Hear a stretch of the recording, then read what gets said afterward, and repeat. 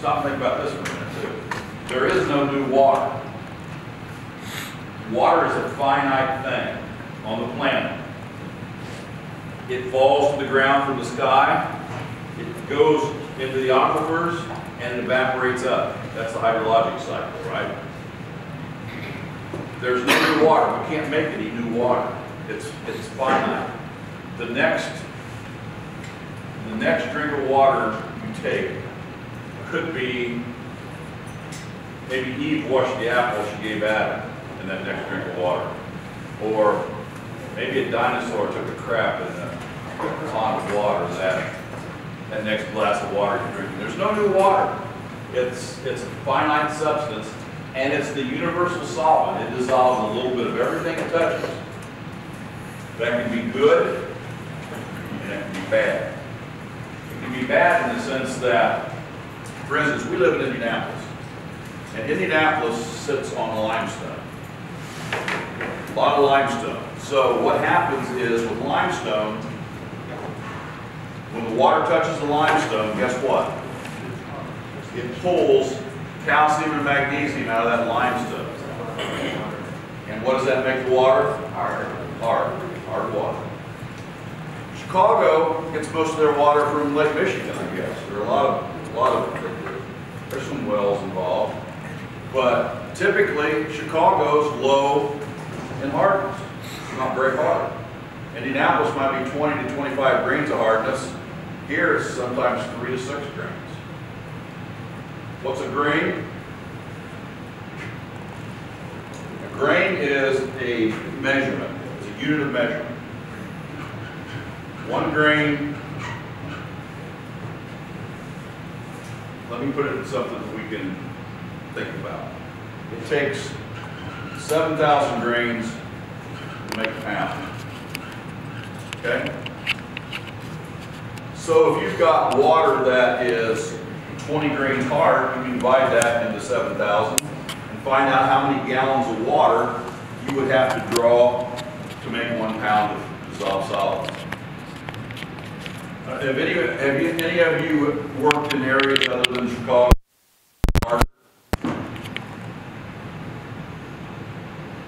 For instance, in Indianapolis, take a water heater, a plumber can carry that water heater down the basement himself, 40 gallon water heater. Sets in the basement for 10 years, it takes three men and a wild monkey to get up out of there. You know why?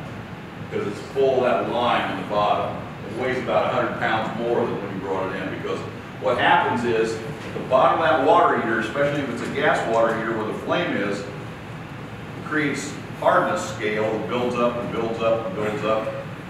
Eventually, may shut this whole system down.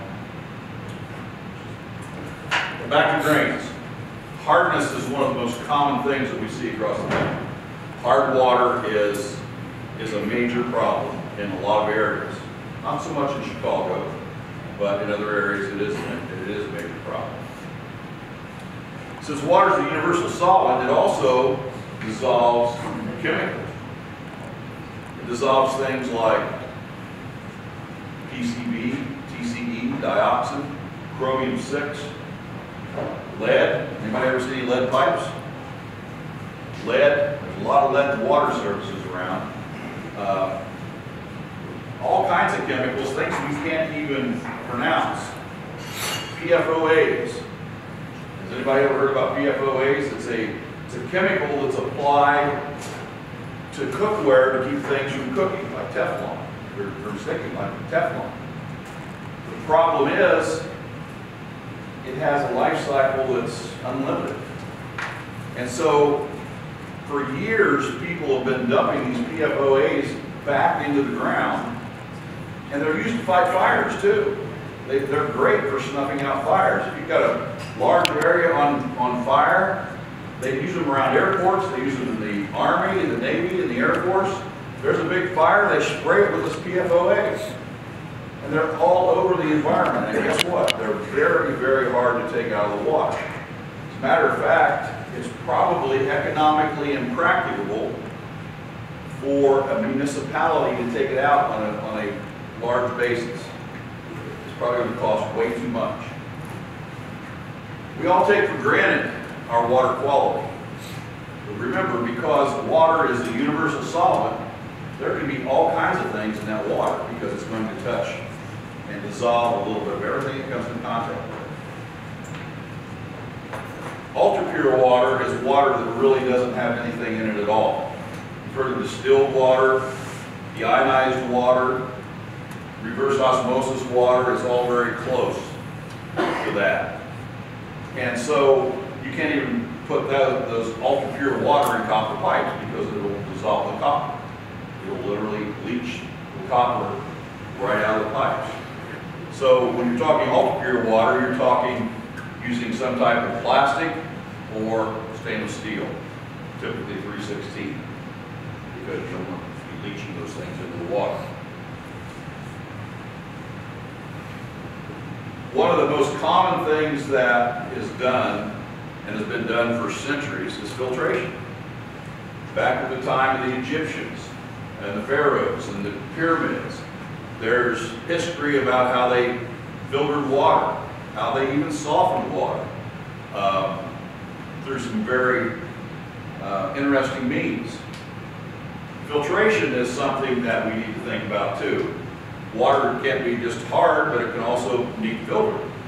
What can be in what can be in the water? Well, obviously, fish and turtles; those are undesirable. There can also be sand, silt, solids, sediment, things that you can see visibly in the water. Um, you can also have bacteria. Bacteria that maybe can be seen like uh, an algae or a fungus in the water, or it could be something that is totally unseen with the naked eye, no smell, no odor, very deadly. Talked about Legionella. You can't really see Legionella, but it will kill you. It's in the water. Can kill you, It doesn't always kill you, but sometimes you wish you were dead. Um, there's a there's a bacteria now that's called the uh, H. pylori bacteria. It's got a big long name. But it's a bacteria that is found in surface water. And if you happen to be breathing while water's being splashed in your face or you're swimming in a lake, this bacteria goes up your nose and eats your brain. Some people said that's what's happened to me. I don't know. But it's, it's called a brain-eating bacteria that can be very hazardous too. We're finding these things in the water. Used to be only in Australia or maybe in Africa they found it. Now they're finding this in America. Also, have you ever ever smelled water that smelled like rotten eggs? It's hydrogen sulfide, sulfur in the water. It Doesn't smell good. Three things that we call the stinkers and the stainers. The stinkers are hydrogen sulfide, and the stainers are iron and manganese. You ever seen any iron stains on fixtures or plumbing that was from a well? I mean, it might be the color of that hat. I mean, it literally stains everything. If you've got a white shirt, it's gonna be that color. How do you deal with that? So we're gonna talk about these things today. Um, First thing we're gonna discuss is water quality and filtration.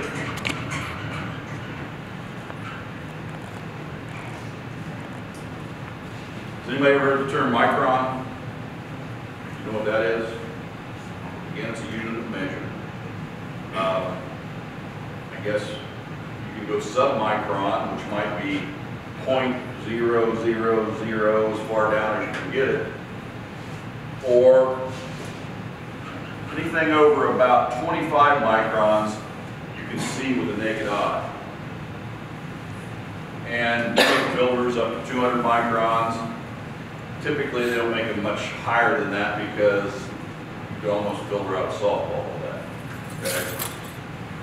But typically, one of the first things that should be in any system, as far as I'm concerned, in any system, in any plumbing system, whether it's on Chicago water or any water, is a whole house filter. To filter out the sand, sediment, fish, turtles, things like that.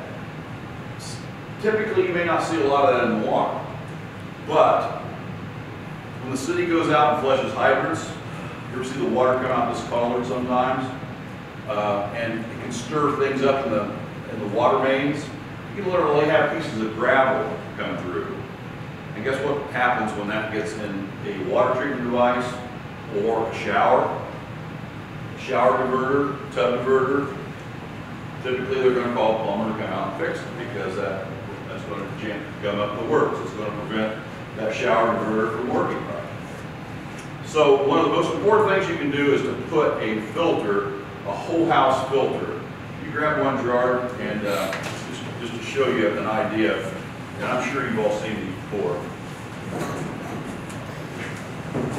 But it's one of the best protective devices you can put in your house, one of the best insurance uh, policies you can get, because it's going to protect everything that uses water in your house.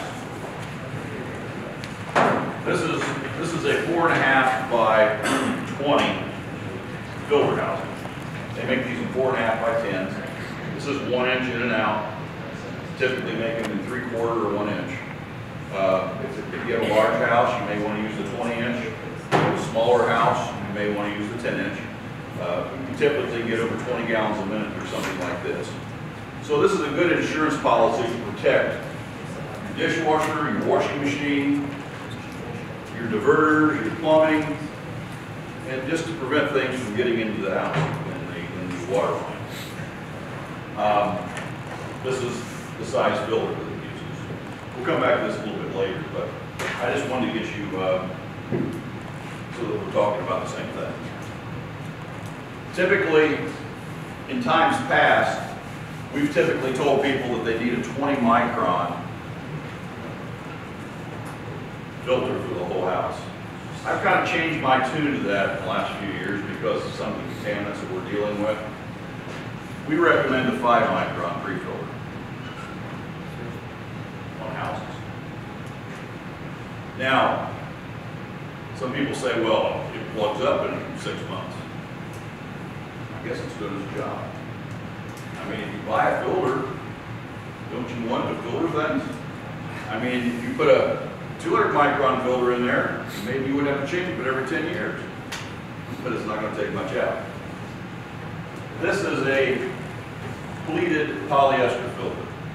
See, it's, it's got pleats in here, and this ha- happens to have about 36 square feet of filter media in. Pleated filters are the best choice for a whole house. There's other type of filters too. There's what's called sediment depth filters. And, but most of this, most of the filtration is on the outside. And so they plug up very quickly. Maybe you've seen string wound filters where they have string wrapped around filters. Has everybody seen string wound filters before? Um, String wound, a lot of people say, well, I love string wound filters because they last a long time. And again, they last a long time because they don't filter very well. It's hard to beat a pleated polyester filter. Some people think this is paper, but if you make it out of paper, bacteria in the water will attack the paper, eat it, and all of a sudden you take it out, there's holes in it. Pleated polyester, bacteria don't like heat. So a filter like this protects your investment, your whole home. And and I, I strongly advocate putting these, no matter how good your water quality is, I strongly advocate putting something like this on. You have a question? Okay, the micron, that's the size of the orifice that the water passes. That's the size of the the particles or whatever, and that's what it will It's gonna- filter. Oh, it's the size of the particle. Yeah, this is, the pore size in that is five microns. And that's what's called nominal, so it's within about ten percent of, of that. It's not, it's not always exact, it might be four microns, it might be six or seven microns, but it's right around that area. So it'll filter out anything that's five micron or greater in size. So anything that's that's bigger than five microns, it's gonna take out. Now, sometimes, if you've really got some crappy water, sometimes you're gonna take and put two of these, or three of these, sometimes even four of these. And what you might do is, you've got the first, so let's say we've got four of these. We have brackets of these, quad bracket that you can mount all, all four on. And you can go through the first one, it might be 20 microns. Maybe you've got a lot of bigger pieces in it. Then you can go to the second one, which might be five microns. You can go to the third one, which might be one micron, and the fourth one, which might be a half micron. That's called step-down filtration.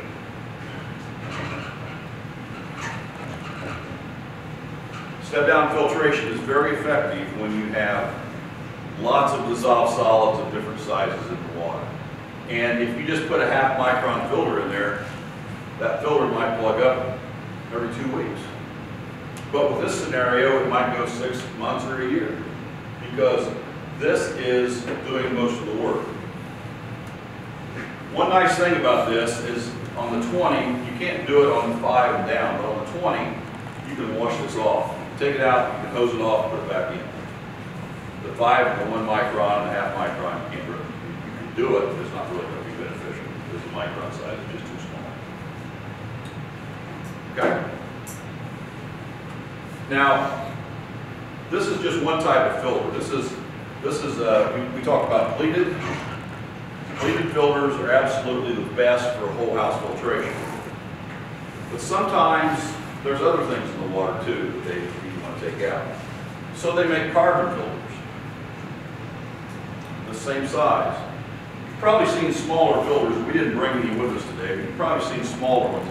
Typically, filters come in four sizes, whole house filters. They come in two and a half by 10, two and a half by 20, four and a half by 10, and four and a half by 20. I do not consider the two and a half format size to be a whole house. Some people do. I don't. I don't, I consider that to be a point of use, not a point of entry. You get what I'm saying? Point of use means a sink, a faucet. Point of entry means a whole house. So I consider these to be point of entry filters, not point of use filters. Um, But what may happen in some cases, let's say you're on city water, let's say you're on Chicago city water, the water's not very hard, and you just want some good tasting water. Well, you can put a five micron filter here. You could put a carbon block filter here. You could put a granular activated carbon, catalytic carbon here to take out chloramine. And we have a uh, filter that's called a disruptor. It has a zeta charge. It looks just about like this, only it's made with a different type of media. And it has a positive charge of 51 millivolts. And what that does, what that does is attracts things like lead, chromium 6, bacteria, tannin. Anybody know what tannin is? You- You've seen iced tea before, right? It's got kind of a dark color. Tannin gives tea its color. Sometimes there's water that's like that. Tannin is from decaying uh, vegetables or plants, things like that. So in coastal areas, a lot of times around lakes, you'll sometimes see water, especially in the fall or the spring of the year, you'll see water that has a tint to it. And this, this filter called this disruptor filter can take out things like that. It has a positive charge, and also takes out bacteria, virus, and things like that too. Again, it's like every other filter though. You just can't, there's not one size that fits all. And you've got to do proper pre-treatment. In other words, if the water has tons of iron and sulfur and hardness and things like that in it, you've got to deal with that first before you do anything like this. Usually you have an indication that your water's bad. There's usually some indication. I mean, if you're married, your wife's gonna say, you know, my clothes aren't looking very good. I got these spots on the shower. or things like that, you know, your, guys don't always know that stuff, believe me, your wife's gonna tell. Um, So, one of the things that we strongly recommend is, if you don't know what your water quality is, if you're on city water, you can look it up. You can go online and look up what city you're in, and the water quality report has to be on there. But if you don't know what your water quality is, then you can get a water test, Well, like on our website, uswatersystems.com. We have a test for 35 contaminants. And it's $49.95. And we send this off to a lab. We, we don't make any money on this, this is not money making us, it's just a service that we do. And then we've got another one that has a few more contaminants plus bacteria, a bacteria test, and it's $149. So, it- knowledge is power. If you know what's in your water, then you know how to. And that's one of the things we strongly recommend, is get a good water test if you're unsure about what's in your water. Because once we know what's in there, and if there's any, maybe you've got a problem with iron, and you say, well, I just need something to take my iron out. Well, what's your pH? What's your alkalinity? What's your manganese level? Do you have any sulfur? Are there any other organics in there that could cause a problem? Those are called competing contaminants. So you want to see what all the competing contaminants are before you're going to treat the water, okay? Um, So, the first filters we're talking about are sediment filters. Like this, which come in pleated, string, sediment depth filters, lots of different things on the market that can do that. Typically, pleated are the best. And then we've got carbon block filters, or carbon filters. Does everybody know what carbon is? Carbon's typically made by a couple of processes. One is they take coconut shells and they roast them at about 2,800 degrees, and the char left behind is carbon. Another way is they do the same thing with bituminous coal. They crush it, roast it, and what's left is carbon. Anthracite. Um, my choice typically is coconut shell carbon. Coconut shell carbon typically gives water what, they call a sweeter taste than anthracite-based carbon. But there may be certain contaminants that respond better to anthracite, so, and there's certain contaminants that respond better to coconut shell. So sometimes it's important to use both. But in most cases, we're going to use coconut shell carbon for drinking water because good water is the best taste. Carbon filter absorbs taste. It takes, I mean, they even make air filters that are embedded with carbon because they absorb odors. And so carbon filters are very, very prevalent. Again, though, you've got to think about carbon filter this size, a pleated filter this size, will flow to 25 gallons a minute. Carbon filter is not even going to flow half that. Because you have to have enough contact time, and it's just not made to float that much water. So you have to take that into consideration. I see people that put a two and a half by 10 inch filter um, on the whole house and put a carbon filter in it and say, I, I can't get any water. Well, it'll only flow like two gallons a minute. You know? So these things have to be sized properly. That's one of the biggest things we see. The, the public just is not educated on what size filters to use, what's going to work the best. You know, they may run to Lowe's or Home Depot and buy something that turns out didn't have any basis in the fact whatsoever.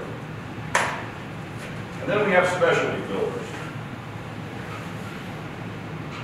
And these filters are typically the same size as this, only they've got a plastic casing. And they're filled with some type of medium. They can be filled with softening resin, they can be filled with deionization resin, and we'll talk about how DI works later. They can be filled with things to take out tannin, nitrates, arsenic, iron, but obviously you're limited by the size of this. And again, a filter this size typically is not going to take out more than one and a half to three gallons a minute. Uh, That's called a media filter. So think about that, putting that on a whole house, it's probably not gonna work unless you're gonna manifold multiple ones together, okay? Filtration plays a real important role though in water treatment, and I encourage everyone to think about, I mean, as, as your plumbers, you know, you're doing the customer a real service when you recommend if you're going out on a service call and they're having a problem with their dishwasher or their, their water heater or whatever, and you see a bunch of rocks or grit or sand in there, the solution is a good filter. And it's a good add-on sale at the same time, so. Basic filter 101, very simple, very easy. Typically, how much does one like that, a whole house go to run? We sell it on our website, and this is not, I mean, this is not discounted. We We have discounts for plumbers, plumbers too. I believe this was hundred and sixty-nine dollars. That includes the filter? That includes both. How much is that on filters? Um, it's about forty-nine dollars for this one. But you gotta consider, this has a lot more surface area than like competitors. Most of the competitors have twenty to twenty-six square feet of filter area. This has thirty-six. Means it's last longer to build it. So, um, One thing, one thing I'll get a little plug in about our company. US Water, most of our products are made in USA. Um, See right on here, where that say it's made? Made in USA. Uh, all our filters are made in USA. Uh, they're not made in China or Taiwan, they're made right here. And, uh, we have a strong proclivity for using American-made products. Uh, Not always possible for every single thing to be hundred percent American-made. For instance, resin and carbon that's inside filters, resin, which is, has everybody heard that term resin, water softening resin? It's little plastic beads. There's not, nobody that makes resin in the USA. You know why? Three little words, three little letters. EPA.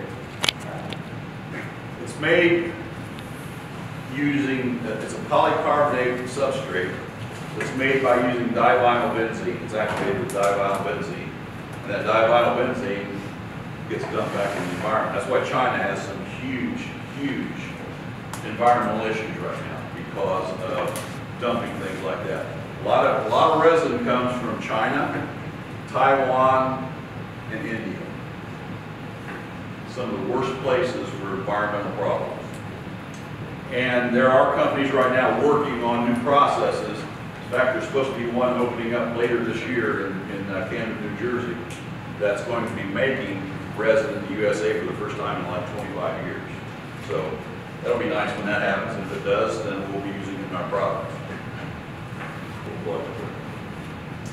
Um, So we talked about filtration as being a problem, uh, or treating a problem, the water as a solution. Something else that is important is pH. Have I heard the term pH before? Do we know what that means? What does, what does pH stand for? Something that can be fine with Who knows? Yell it out if you know. Yeah, yeah, yeah. Right, yeah, we haven't pH, pH simply means potential of hydrogen. pH, potential of hydrogen. The pH scale starts at zero and runs to where? 14. And where's neutral? Seven's neutral. Here's, maybe some of you know this, but usually people don't know this.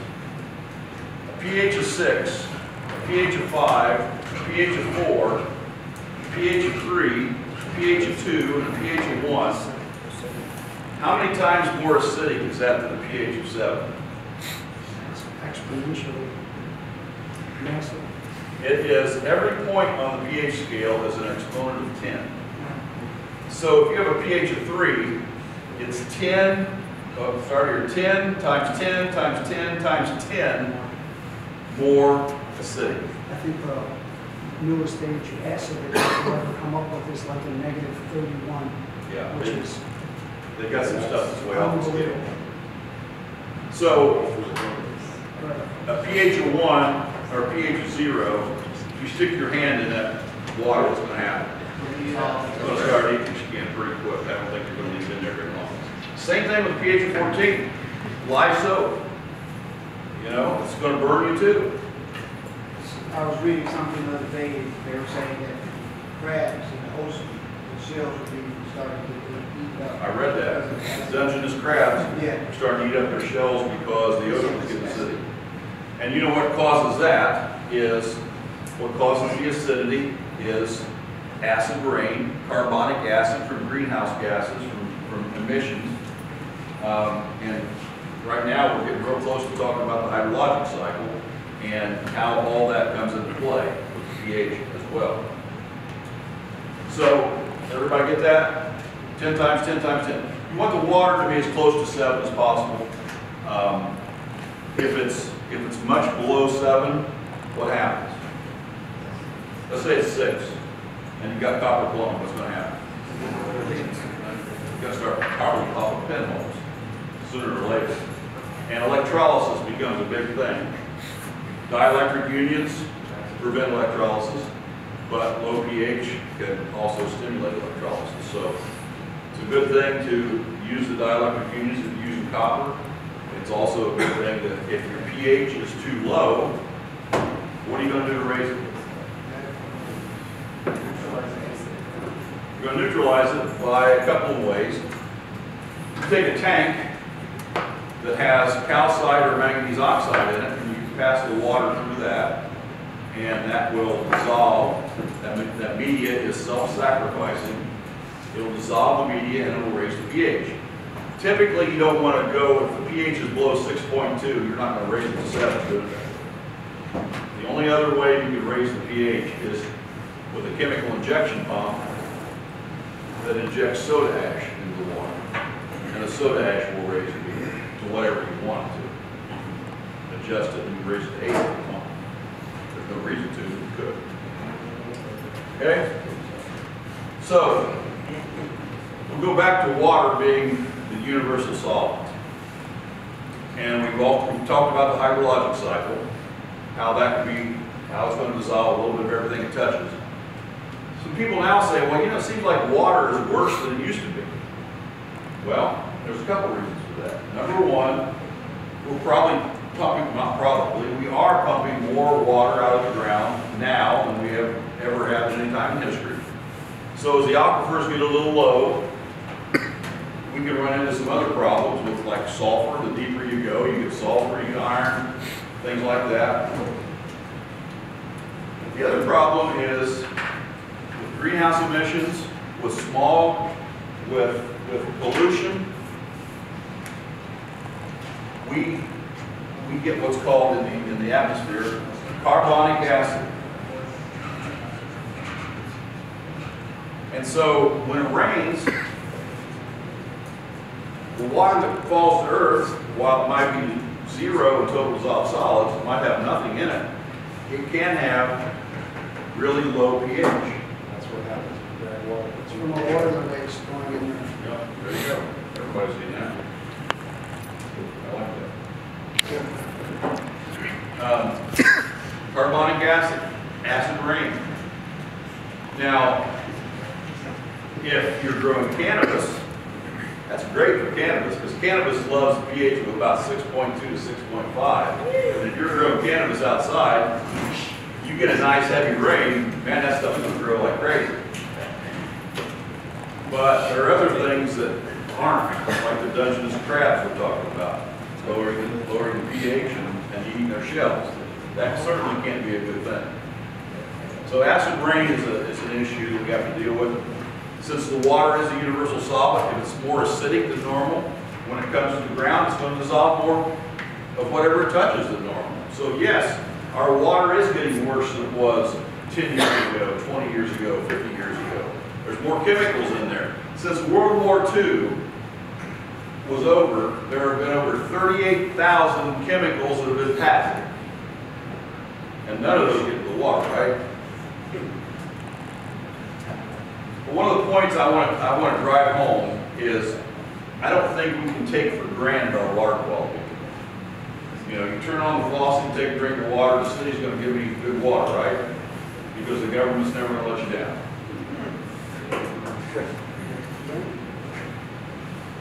I'm just suggesting that your water is the responsibility of every family, of every, of every person who lives in a household.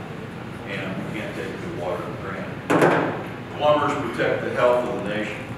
And let's stop and think about this for a second. When you get up in the morning, what do you think about doing? You just think about, man, I gotta get to work at seven thirty, the boss is an SOB, and, you know. Or you really think about the big picture, of what you're doing? You're making people's lives better, you're protecting their lives, even saving lives. Because that's what plumbers do, really. And if you, if you wanna boil it down to its basis, that's what you do. You help people. Same thing with water treatment. We get up in the morning, and, yeah, the boss is an SOB. But we get up in the morning and we know that we're going to improve people's lives through the quality of their water. And even save people's lives by killing bacteria so that they might not lose their life or get sick. So it's good to think about that. What we do is very similar. You know, protecting people's lives, improving people's lives with water, and guess what? You guys are involved in both aspects. A lot of plumbers we run into are a little bit afraid of water treatment equipment. And hopefully by the time this is over with, you guys aren't going to be afraid of it. Uh, you're going to embrace it and want to make it part of what you do because, again, it's part of protecting people's homes and their lives and enhancing their lives. Um, so we talked about sediment, we talked about carbon taking things out of the water. Um, the next thing that we're going to talk about is the stinkers and the stainers. The stinkers are hydrogen sulfide, the stainers are iron and manganese. Let me first tell you, you're not going to filter them out. Now, under right circumstances, you can occasionally take a filter like this and put some media in it that is, that will affect the iron. But if you have very much iron, you might get 200 gallons out of it and have to replace filter. That's not very cost effective. To take out iron, manganese, and sulfur, they have to be oxidized.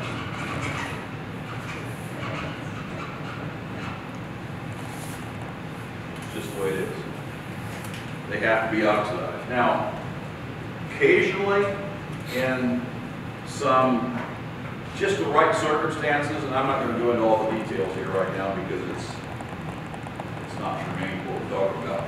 Occasionally, you can take out iron with a water softener, a certain level of iron with a water softener, depending on what the hardness is, depending on what the pH is, depending on the alkalinity, and other competing contaminants. But odds are, if you're relying on a water softener to take out iron, you're going to get in trouble. You're going to get in trouble probably 75% of the So we suggest oxidizing iron, sulfur, and manganese. Manganese, of the three, manganese can be taken out by water softener, properly done. At least high levels can be taken out, properly done. But iron and sulfur, they have to be oxidized. Absolutely have to be oxidized. How do you oxidize iron? Has anybody ever heard of potassium permanganate? Hopefully you have. Hydrogen peroxide, too, is an oxidation. Hydrogen peroxide is a great oxidizer. the best. You're stealing my thunder. Uh, Hydrogen peroxide is a great oxidizer. Used to be since, I don't know, last hundred years, they've used potassium permanganate. It's a powder that has a purple color to it, but when you add water to it, I mean, it turns blood purple. And if you get it on your hands or clothes or floor or anything that's stained permanently, you're gonna have to wait months before it's gonna get off your hands. Um, So they used to use potassium permanganate with something that's called green sand. Anybody ever heard that? Manganese green sand. And you got a tank full of manganese green sand, maybe a foot, cubic foot or two cubic feet, and as the water passed through there, it oxidized the iron or the salt. And then you had to regenerate it with potassium permanganate. And I've, I've been doing this a long time, I've seen a lot of houses, you walk in, and there's stains all over the floor because the thing overflowed. And it's, it's a mess. Manganese green sand and potassium permanganate are not popular. Green still used, and sometimes they use it with chlorine. But remember this, chlorine is a great disinfectant. It's not a good oxidizer. A lot of people try to use chlorine as an oxidizer, and it doesn't work very well. Hydrogen peroxide is a great oxidizer, but it's not a great disinfectant. And so they work exactly the opposite one another. Typically, what you'll do is, is you've got a pressure tank here, and are you guys all familiar with well, well systems? Have we got along that far yet? Some of them, yeah, there's a couple different levels of classes here, but yeah, some of them. So you know with a well, you've got a, a well, you've got typically a pump down the bottom of the well. That pump receives a signal from a pressure switch on the pressure tank. Whenever the pressure drops below a preset limit, it kicks the pump on. The pump supplies water to the house as well as fill this tank up, and when the desired pressure has been reached, the switch shuts it off, okay? The way a lot of people do have in, in, in, in times past, they've used chlorination to oxidize iron and sulfur with very bad results. But for years, they've always did it that way because they've always did it that way. And what they did was they had a chemical feed pump that was typically wired to this pressure switch. When that pressure switch kicked on, kicked on the pump, it activated that chemical feed pump, which was pumping chlorine out of a out of a storage tank into the water line ahead of this tank. Now, chlorine typically takes 20 minutes contact time before it can work properly to make sure that it's oxidizing and killing bacteria. So they usually had to have like a 120 gallon contact tank after that, at least 120 gallons. If, if you flow, if the house is capable of flowing 10 gallons a minute, and you need 20 minutes contact time, you need 200 gallons of contact. Most people, when they put it in, were not getting enough contact time. They didn't have enough room to put 220 gallon tanks in. So they downsized it, so as a result, it even did a worse job of removing the iron and sulfur, and it did very little for the bacteria because you didn't have enough contact time. What makes hydrogen peroxide different? Hydrogen peroxide, a couple of things. Chlorine is a deadly chemical. You, I don't, I don't think you want to drink a glass of it. Hydrogen peroxide is H2O2. Guess what? It's what water's made out of, hydrogen and oxygen. This has an extra, extra oxygen molecule, which makes it a great oxidizer. It's, it's 10 times better oxidizer than chlorine. And so if you've got iron and sulfur, you're going to oxidize it much better than chlorine. And guess what? You don't require any contact time. It oxidizes instantly. Typically, you're going to have a carbon filler after this that uses a, a carbon called catalytic carbon. And it's, it's made with coconut shells, but it's, it's a different process. It's, it's activated a different way. And what happens is you're going to inject the peroxide right before this tank. You're not going to inject it into this tank because when you inject peroxide, you're going to dramatically reduce it. It's going to be dramatically uh, diluted.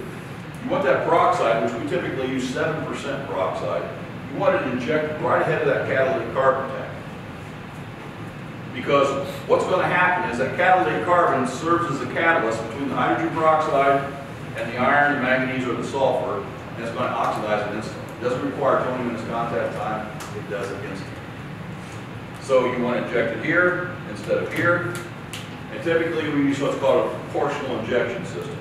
It has a meter And whether you're using one gallon a minute or 10 gallons a minute, it's going to inject the precise amount of peroxide that you need to oxidize that iron or sulfur. Now, the limits on iron and sulfur. On iron, anything over 0.3 causes stains. 0.3, pretty low. On manganese, is iron, manganese, anything over 0.05 causes stains. And with sulfur, anything over point, sorry, anything over 0.3 stinks. Smells bad. We've seen up as high as 100 parts per million. And that's really stinks. I mean, I've had people say, come out to my house and, so you cross over this railroad track and roll down your window and you'll smell it. I'm about half a mile off the road. I'll turn the water on. Smell it smells bad. Only way you're gonna successfully get that out usually is with hydrogen peroxide. Again, though, it takes a good water analysis. You have to be able to look at the water test. You have to consider the competing contaminants. You have to consider the pH, hardness, all these other things. And then you can make a successful recommendation as to how to take it out and know that the results are gonna work. A lot of people say, well, are you gonna guarantee this? Yes. Yes, we are, because if we have the detailed water analysis, we know it's gonna work. I mean, if you go up, they don't call it the city tower here anymore, what do they call it? So if you go up there and jump off, I guarantee you're gonna go down. You're not gonna go up, you're gonna go down. Why? That's just the way it is, science, law of gravity. Same thing is true with treating water. If you apply sound scientific principles, it's gonna work every time. But if you don't, if you don't measure what the water is to begin with, then you run into a problem. You know, I don't know if plumbers say this, but carpenters say it, but it applies to plumbers too. Really applies to plumbers.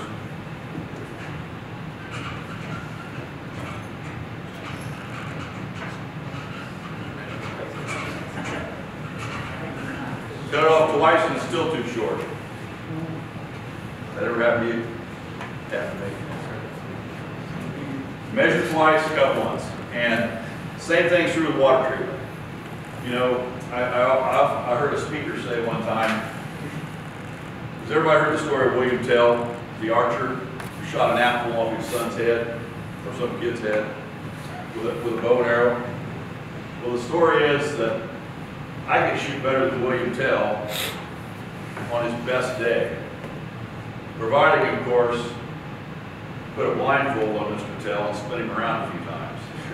If you can't see the target you're shooting at, you're not gonna hit it. If you can't see what's in the water, how are you gonna fix it? So it all starts with a good water analysis, a good detailed water analysis. So, we talked about filters. We talked about water softeners, and we're gonna get into more detail on water softeners in a little bit. This is just kind of an overview right now, so we'll get started with. The third thing is probably one of the most common things in water treatment is reverse osmosis. Anybody not ever heard of reverse osmosis? Reverse osmosis was first invented by Gulf Atomic Research long ago, probably 60 or 70 years ago. Um, it was discovered, let's put it that way. Um, it's a natural process, actually. It's called reverse osmosis because osmosis is the, is the, is the way plants feed themselves, right? Got a solution that passes through a cell wall from a more dilute to a less, from a less dilute to a more dilute solution. The cell wall serves as a barrier to allow this osmosis to take place. With reverse osmosis, what makes it reverse is we're adding pressure. And by adding pressure, what happens is this cell wall rejects the solids. Only the pure water can pass through. And so typically, a reverse osmosis membrane is going to take up to 98 to 99% of all total dissolved solids. Again, that's a term that is used a lot in our industry, TDS, total dissolved solids. What are total dissolved solids? They're really composed of two components, anions and cations. Negatively charged ions, positively charged ions. What are the cations? Anybody know?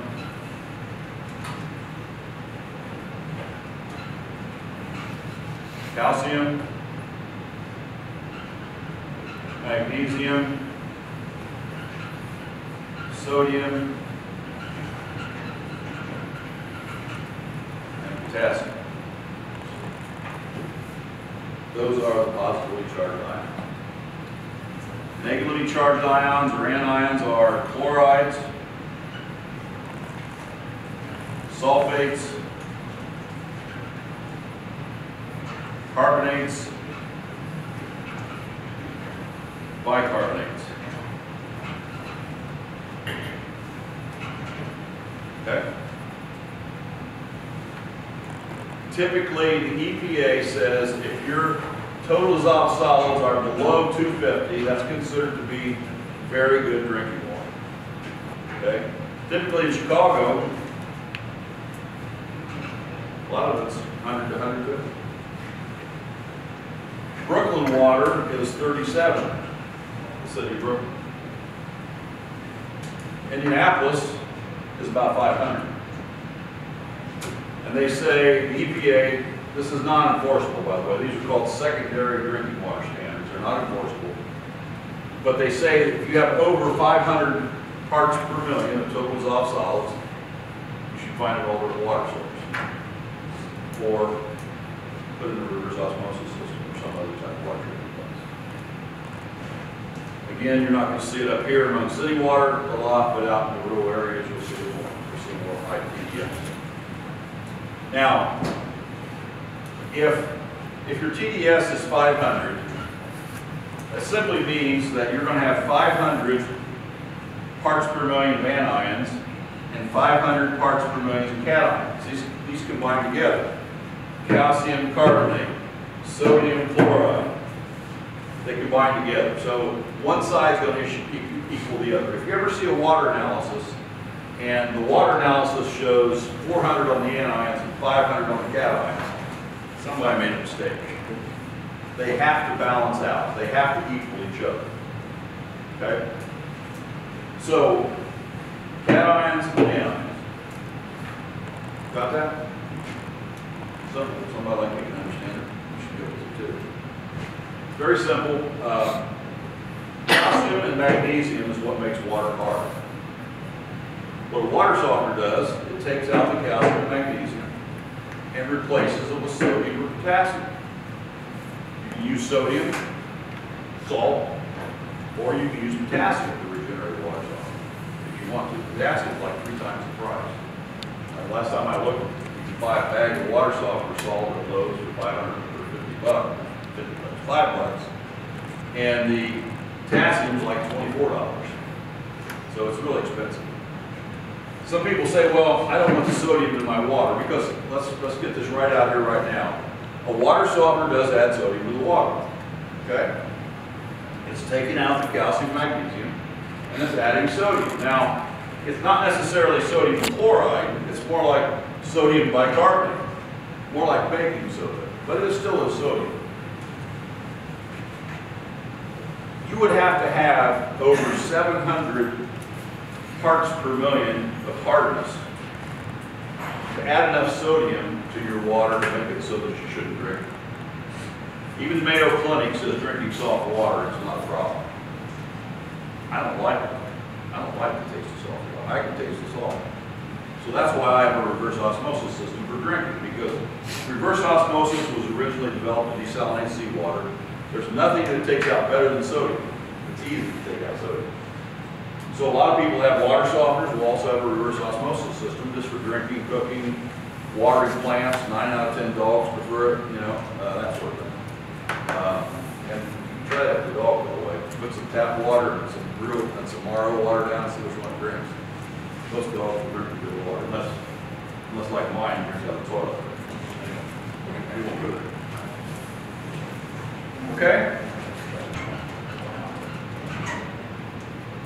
How about we take like a 10 minute break? Everybody want a little restroom break and then we'll start back up on more hot water.